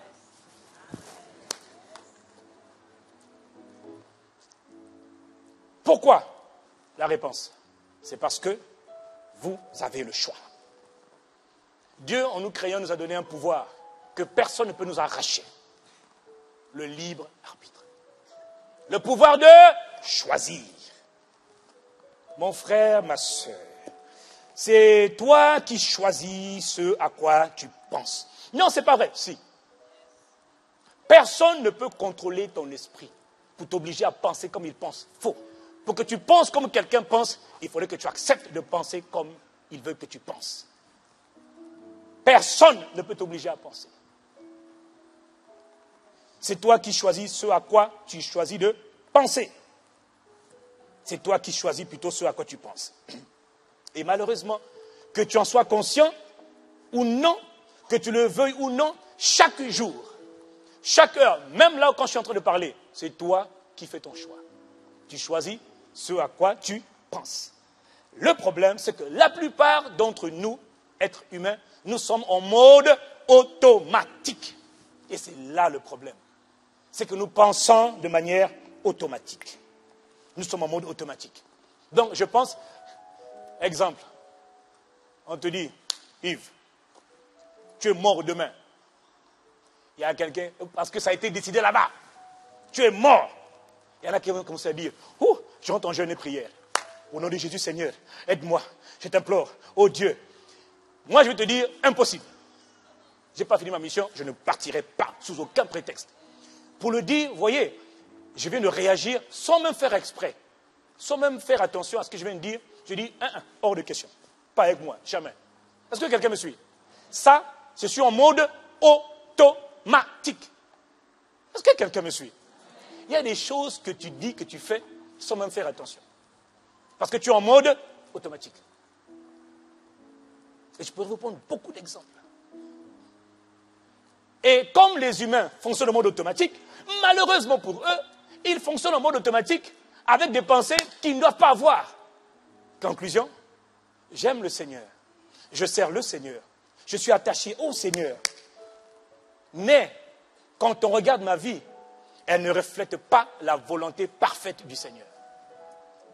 Parce que la volonté du Seigneur, permettez-moi de vous le dire, bien-aimé, c'est l'abondance, c'est la perfection divine, c'est la santé divine, c'est la joie, la paix, la joie par le Saint-Esprit.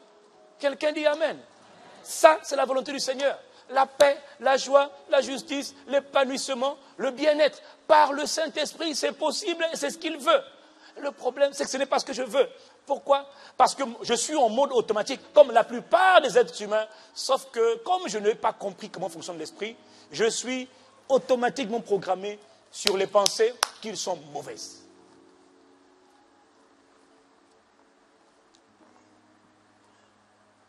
Il est 13h30. Faut que je m'arrête. Si je faisais un sermon, je dirais, permettez-moi maintenant de faire la conclusion de mon, sermon. Non, je ne peux pas continuer maintenant. Je poursuivrai, Dieu voulant, la semaine prochaine. Dieu voulant. la semaine prochaine, on verra. Puisque j'ai une multitude de pensées et ça défile en permanence, comment je fais pour savoir d'abord ce à quoi je pense Parce que si tu veux commencer à changer quelque chose, il faut d'abord être conscient de la chose. Je fais comment pour être conscient? Deux, quelles sont les habitudes que je dois prendre pour commencer à penser? Je vous donne un exemple, simple. On vous dit que vous avez pris de longs vous avez trop de poids, trop de cholestérol, trop de sucre, etc. Et le médecin vous recommande de faire ce qu'on appelle un régime. En quoi consiste le régime? Le régime consiste juste à adopter, plutôt délaisser les mauvaises habitudes alimentaires pour adopter de nouvelles habitudes alimentaires. Alors le médecin vous dit, voici la nourriture ou les aliments que vous devez éviter. Mais on ne vous dit pas juste d'éviter, on vous donne un autre traitement, une autre habitude, un autre régime sur lequel vous devez vous focaliser. Voici le type d'aliments que vous devez prendre dans le but de réussir votre régime. Est-ce que quelqu'un suit?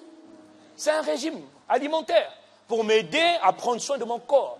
De la même manière, il y a aussi ce que j'appelle un régime mental pour apprendre à penser de la bonne manière afin d'avoir les bons automatismes qui me garantissent toutes les bonnes promesses que Dieu a pour moi. Mais arrêtez de blâmer Dieu pour ce qui nous arrive. Arrêtez de blâmer Dieu. Dieu n'est pas responsable de la plupart de nos malheurs. Hé, mes frères, arrêtez. Oui, il y a un volet souveraineté de Dieu, naturellement. Mais le volet souveraineté de Dieu n'est pas du tout le volet majoritaire, pas du tout. C'est nous qui créons. Tu n'as pas à dépendre de Dieu pour tout. Dieu t'a tout donné. Est-ce que quelqu'un me suit? Tu dois prendre ta vie en main. Ce n'est pas le Saint-Esprit qui va le faire à ta place, c'est toi qui dois le faire à ta place. Tu dois prendre ton avenir en main. Tu dois prendre ton travail en main, ta destinée en main. Ce que tu veux devenir par sa grâce, oui. Mais c'est toi qui te lèves et qui dis, Seigneur, je vais faire ce que tu m'as appelé à faire.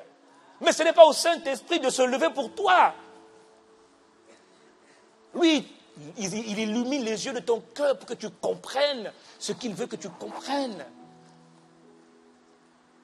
Que d'erreurs, que de temps perdu à blâmer Dieu pour tout et à attendre de Dieu aussi tout. On attend tout du Seigneur. Tout. C'est une mentalité qui n'est pas la mentalité de Christ. N'oubliez pas, commandement numéro un, puis Dieu dit, portez du fruit. Soyez féconds.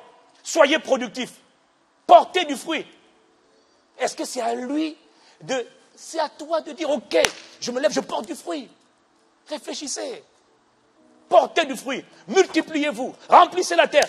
Assujettissez et impactez la terre. En moi, par moi, oui. Faites-le. Mais il n'a pas dit Attendez. Attends quoi? Non, j'attends que le Seigneur. Euh, mon frère, la créativité est un don de l'esprit. La créativité est un don de l'esprit. Qui t'a créé Dieu. Il t'a donné le don de la créativité. Il y a des environnements où on est plus créatif que d'autres. il y a des milieux où on est plus créatif. Il faut savoir les lois de la créativité. Par exemple, je peux vous dire qu'il y a des environnements. Oh, on va parler après. Est-ce que vous savez que l'esprit, donc l'être humain, l'esprit, est plus disposé à être créatif en fonction de certains environnements, certaines musiques? Est-ce que quelqu'un me suit? Si tu, te dis par exemple que je vais commencer à être créatif, imaginer, inventer des choses, créer des choses, je suis là, Dieu, tu es bon, oh Dieu, hein? frère, l'esprit n'est pas apaisé.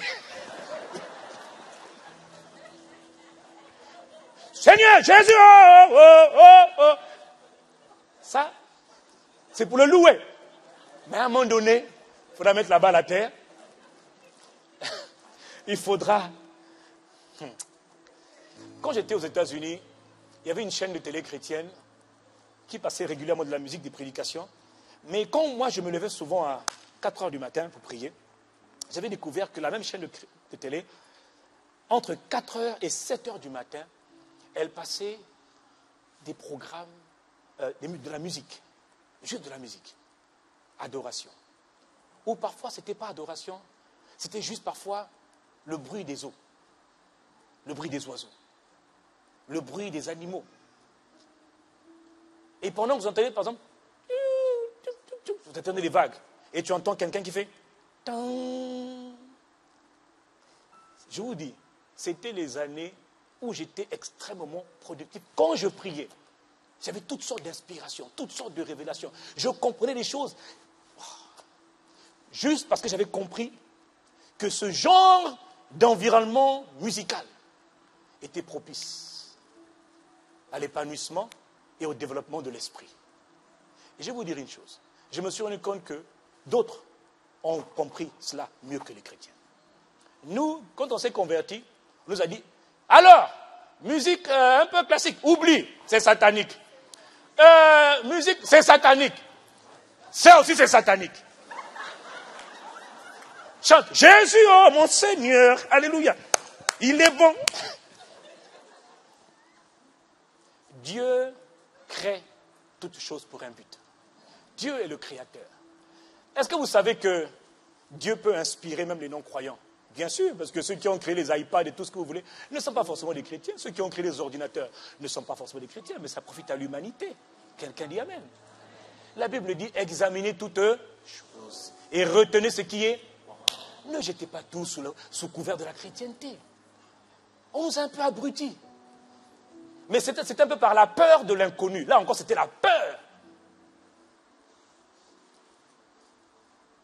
Quand je mets juste la musique chez moi, juste le, bruit des animaux, des vagues, de l'eau, juste ça, ça apaise l'esprit.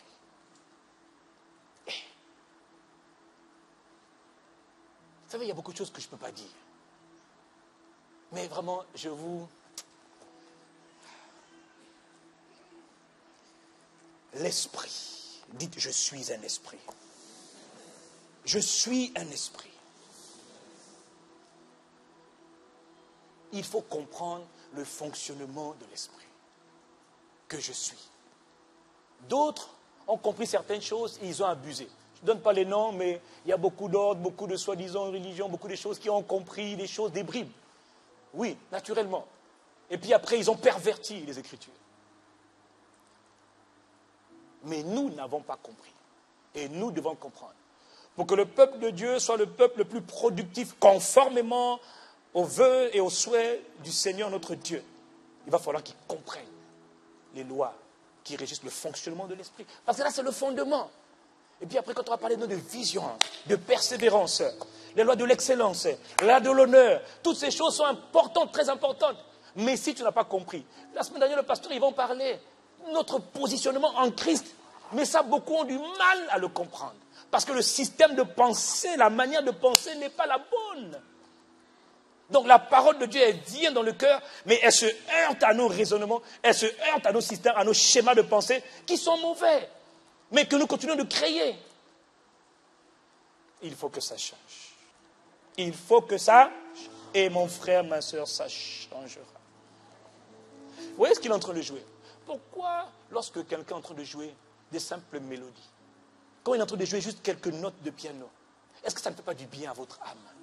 Est-ce que vous ne vous sentez pas tranquille, bien, reposé Oui ou non S'il fait tu as dit, oh, il y a des vertus dans la musique. Il y a des vertus que nous ne connaissons même pas. Qui a créé la nature C'est le diable. Pourquoi est-ce que les gens qui sont les plus créatifs, moi je lis beaucoup les biographies, je, je termine. Pourquoi est-ce que les gens, les plus grands inventeurs, les plus grands créateurs, ceux qu'on appelle les génies, ceux qui ont fait les plus grandes réalisations, beaucoup, les dénominateurs communs à chaque fois ils disent, moi j'ai mes temps de calme, de méditation, pas méditation transcendantale et toutes ces choses bizarres là, non. Mais il y a une manière de méditer, de penser à Dieu, de parler à Dieu. Pourquoi est-ce qu'ils disent à chaque fois qu'ils ont des... Il y a des environnements où ils sont le plus créatifs? Ils disent tous c'est dans la nature. Je vais dans les montagnes, je vais en haut lieu, je vais dans les montagnes, je vais dans la forêt, je vais près des arbres, près des animaux, je vais près de la mer, j'écoute les vagues de la mer, j'ai mon stylo, je note. Pourquoi? Qui a créé toutes ces choses? L'homme? Non, Dieu. Tout ce que Dieu crée est bon. Mais si nous ne savons pas que c'est bon et comment s'en servir, mais on, est ignorant. Inclinons la tête, signe de révérence envers Dieu. Inclinons la tête. Il y a beaucoup de choses. Il y a beaucoup de choses. Il y a des environnements qui sont propices à la créativité. Il y a des environnements. Et les environnements ce n'est pas Dieu qui les crée, c'est toi qui crées les environnements que tu veux. Ah Seigneur, aide-nous à comprendre ces choses. Si le Seigneur le veut la semaine prochaine, nous continuerons. Seigneur, notre Père. Ah Seigneur. Ah Seigneur. Notre Dieu. notre Père. Tu es notre Père. Tu es notre Père, notre pourvoyeur. Tu es notre émancipateur. Tu es notre bienfaiteur. Tu es notre épanouissement. Tu es notre plénitude. Tu es notre richesse. Tu es notre gloire. Notre lumière notre rayonnement, c'est toi. Notre Père qui est dans les cieux. Excellent Père de grâce, majesté. Nous voici ce jour, Seigneur. Vraiment, nous voulons te dire merci. Nous voulons te rendre grâce. Nous voulons te dire combien tu es précieux pour nous. En réalité, Seigneur, tout ce que nous voulons, tout ce à quoi nous aspirons, c'est que nos vies te glorifient, Seigneur. C'est que nos vies te glorifient. C'est que nos vies te manifestent, te démontrent, te révèlent. Nous avons essayé beaucoup de choses qui n'ont pas marché. Nous avons entendu beaucoup de choses qui nous ont parfois éloignés de tes voix, de tes pensées. Même à l'église, Seigneur, entre nous, Seigneur. Mais nous te supplions, Seigneur. Voici un peuple qui veut vivre et qui veut accomplir les desseins de l'Éternel. Et je ne parle pas de n'importe quel dessein, des desseins, des projets parfaits de Dieu. Nous te supplions, abondant et excellent Père de grâce. Non seulement nos vies doivent être utiles, mais Seigneur, connaissant et percevant le cœur que tu as, et le cœur que tu es, Seigneur, le cœur d'amour que tu as, nous savons et nous croyons que tu nous as appelés des ténèbres à ton admirable lumière pour être des lumières, des flambeaux, des chefs-d'œuvre, des perfections, des gloires dans ce monde, Seigneur. Oh Seigneur notre Père et notre Dieu, tu veux le meilleur pour nous, Seigneur. Alors vraiment, nous te supplions, nous te supplions Peut-être que la manière de dire aujourd'hui n'a pas été correcte. Pardonne-moi. Peut-être que dans les intentions, j'ai péché, pardonne-moi. Peut-être que dans ma manière de m'exprimer, j'ai blessé quelqu'un, pardonne-moi. Mais je te supplie, cher Saint-Esprit, tu connais le fond de nos cœurs et tu connais nos pensées, Seigneur. Nous, tout ce que nous voulons, c'est te faire honneur, c'est te faire gloire. C'est vivre la vie à laquelle tu nous as appelés, vie d'épanouissement, vie d'influence, vie d'impact, vie de gloire, de splendeur. Ça, je sais que c'est ta volonté pour nos vies, Seigneur. Vie de productivité, d'efficacité, de diligence, de consécration, vie de passion, vie d'amour, ah, vie de gloire. Seigneur, c'est ta volonté. Tu as dit, je connais les projets que j'ai formés pour vous. Des projets de paix, des projets de paix et non de malheur. Mais Seigneur, aide-nous à comprendre alors. Aide-nous à comprendre. Cher Saint-Esprit, illumine les yeux de nos cœurs, que nous comprenions, Seigneur, non pas comment fonctionne le corps, par la bouche de l'apôtre Paul, Seigneur. Tu as dit que l'exercice physique est utile à peu, alors que l'exercice spirituel est utile à tout. Nous ne voulons pas seulement muscler ou comprendre comment fonctionnent nos corps mortels, mais nous voulons comprendre et développer l'esprit, le corps spirituel que nous sommes, parce que nous comprenons que lorsque tu donnes un ordre, ainsi parle l'Éternel, c'est à notre esprit, donc à nous que tu parles.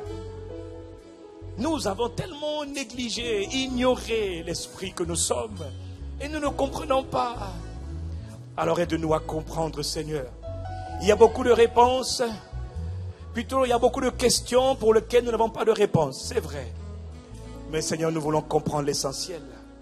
Et nous voulons aller de l'avant. Et nous voulons glorifier ton nom sur la terre. Nous savons que c'est possible. Nous savons que c'est ta volonté. C'est le désir de ton cœur. Et nous, citoyens du royaume des cieux, ambassadeurs, ministre du gouvernement très haut, du gouvernement suprême de son Excellence le Christ Jésus de Nazareth, nous, nous sommes déterminés par ta grâce à faire la volonté parfaite. Je refuse de passer à côté des desseins parfaits de Dieu, Seigneur. Non, tu as des projets parfaits pour nous, Seigneur. C'est ceux-là qui doivent s'accomplir. Pas de contrefaçon, pas d'approximation, les desseins de Dieu, les résolutions du cœur de Dieu. Pour nous, pour chacun de mes frères, chacune de mes sœurs, chaque personne qui entend le son de ma voix, les desseins de l'Éternel, ces desseins parfaits doivent s'accomplir.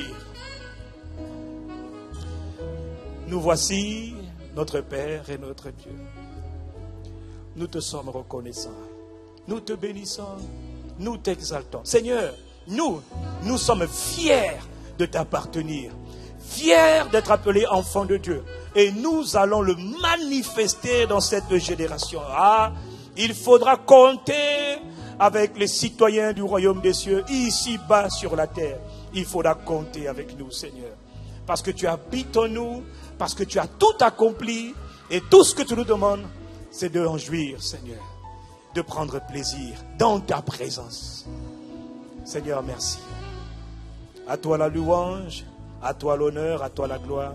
Toi qui enseignes, toi qui fais ces choses, toi qui nous fais comprendre ces choses, et toi qui transformes sans cesse nos vies, toi qui métamorphoses sans cesse nos vies, pour nous rendre pleinement agréables à Dieu. À toi, honneur, louange, gloire, sagesse, magnificence, splendeur, majesté, beauté, exaltation, suprématie, adoration, acclamation, domination. À toi nos clameurs, à toi l'expression de notre gratitude. À toi seul, ô Père. À toi notre Maître. À toi notre Dieu. À toi seul.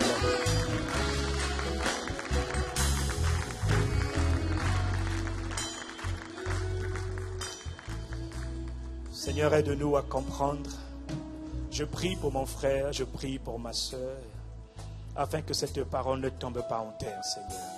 qu'elle tombe dans des cœurs, même si tout n'est pas encore clair, même si tout n'est pas encore compréhensible.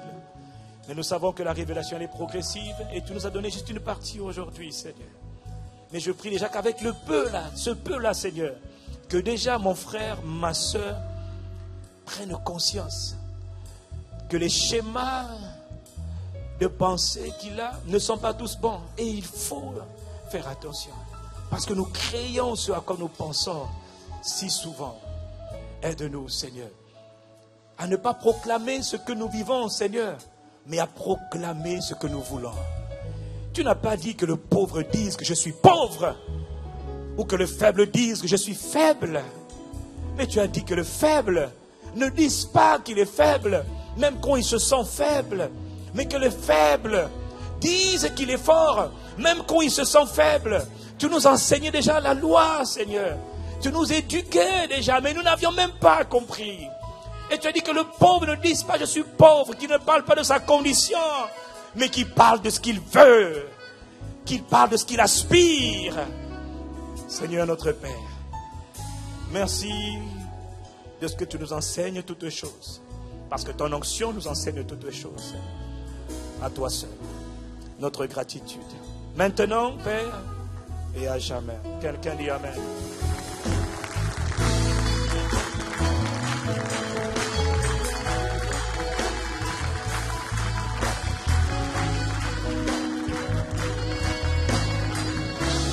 Amen. Amen. Gloire à Dieu. Amen. Merci Seigneur. Merci pour ta parole, Père. Merci de permettre que nous puissions comprendre ces choses, Seigneur, et que ta parole fasse la différence, Seigneur, dans nos vies. Permets, Seigneur, que nous puissions comprendre, Seigneur, qui nous sommes, notre réelle identité, Seigneur, et que nos pensées s'alignent à tes pensées, Seigneur. Accorde-nous cette grâce dans le nom de Jésus. Amen. Amen. Nous allons donc maintenant libérer notre famille internaute. Nous vous souhaitons une excellente semaine et nous vous disons à dimanche prochain. Nous allons donc maintenant nous préparer, nous disposer pour participer à la table du Seigneur. Nous allons donc demander maintenant à toutes les personnes qui ne sont pas baptisées par immersion.